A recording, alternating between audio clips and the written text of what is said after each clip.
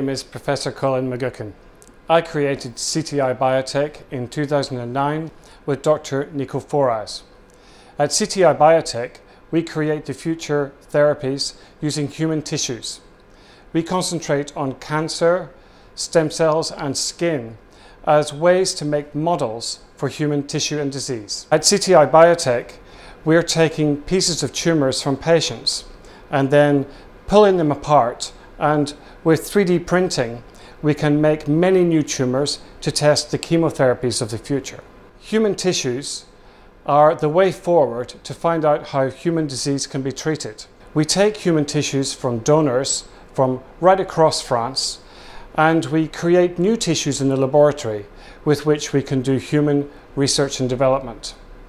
We believe that the future for the human race is to use the human body to develop new therapies. Some cancers are very difficult to treat because they form very quickly in the human body and it has been very difficult to develop new strategies to treat cancer. With this 3D printer here, we have been able to develop new technologies to pull apart a tumour piece from a patient and make it into a thousand different tumours with which we can then test the new therapies of the future. This becomes extremely important for something that we call personalized medicine.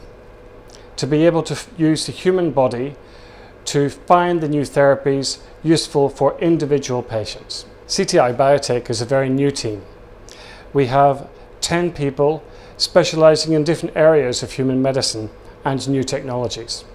By using these technologies, we're trying to bring new ideas together that have never been formed before. This allows us to develop new ideas which we can work with hospitals and universities, not just here in France, but also in the world. My name is Dr. Nico Forraz. I'm 43 years old, from Lyon, and I created CTI Biotech with Professor Colin McGuckin in 2009. Our vision is to develop the next generation of human cell bioassays in three dimensions to predict the efficacy of drugs for the future. CTI Biotech has clients and partners all over the world. We have a strong positioning in Japan, Europe, and the rest of the world. Our vision is that in the next five years, CTI Biotech will be the world leaders in manufacturing predictive human tissue models in three dimensions here in Lyon, France. CTI Biotech is the first biotechnology companies to produce bioprinted human tissues in France for pharmaceutical, dermocosmetic, and regenerative medicine applications. We can help you create human tissues without animal products to test the future medicines. Join CTI Biotech to create the next generation of human tissues for your drug development.